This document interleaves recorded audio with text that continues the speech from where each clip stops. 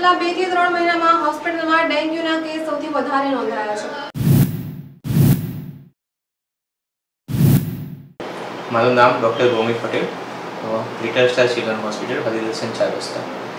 હવે અહીંયા હું બાળરોગ નિષ્ણાત તરીકે કામ કરું છું.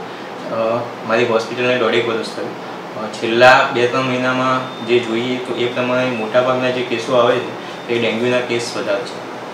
ડેન્ગ્યુના કેસ જે પણ હોય એ મચ્છર કતરવાથી થાય છે. એડિસ ઇજિપ્ટી નામના જે મચ્છર હોય છે, એનાથી ડેન્ગ્યુના કેસ વધારે થતા હોય છે. આ મચ્છર મોસ્ટલી દિવસે જોવા મળે છે અને દિવસે કતરતા હોય છે. તો ડેન્ગ્યુ થયા પછી એનો ઈલાજ એક જ છે કે બાળકને પાણી વધારે આપીએ, લિક્વિડ ડાયટ વધારે આપીએ, સોફ્ટ ડાયટ વધારે આપીએ. જો તાવ વધારે આવતો હોય, તો બાળકને દાખલ કરવું પડે છે અને શરૂઆતના ત્રણ ચાર દિવસ તાવ વધુ આવતો હોય છે. ધીરે ધીરે તાવ ઓછો થતો હોય છે છઠ્ઠા સાતમા દિવસથી બાળકને વોમિટિંગ પેટનો દુખાવો એ બધું ચાલુ થતું હોય છે. તો ડેન્ગ્યુમાં જો બાળકના કાઉન્ટ વધારે ઘટે તો બાળકને દાખલ કરવું પડે છે અને એની ટ્રીટમેન્ટ કરવી પડે છે. આના માટે તમારા નજીકના ડૉક્ટરની સલાહ લેવી જરૂરી છે.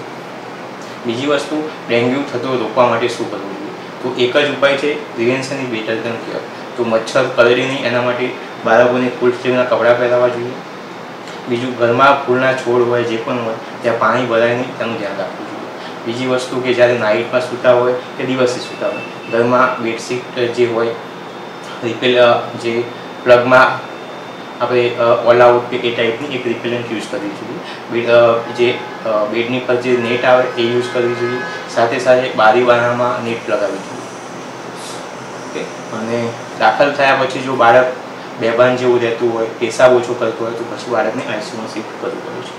આ રીતે ડેન્ગ્યુની ટ્રીટમેન્ટ હોય છે અને ડૉક્ટરની સલાહ લેવી જરૂરી છે